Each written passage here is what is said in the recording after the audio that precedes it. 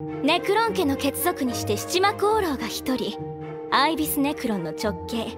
破滅の魔女サーシャ・ネクロン。どうぞお見知りおきを。今この学院で特に魔王に近いと言われている。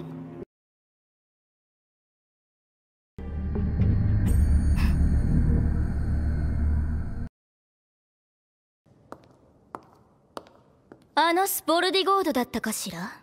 あああなたまだ班員が一人しかいないようね。それも。出来損ないのお人形さん。それがどうした？どうしたって？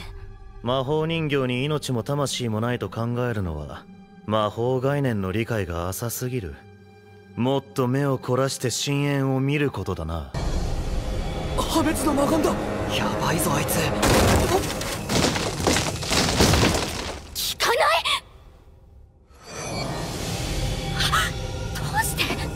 お前にできることが俺にできないと思ったか？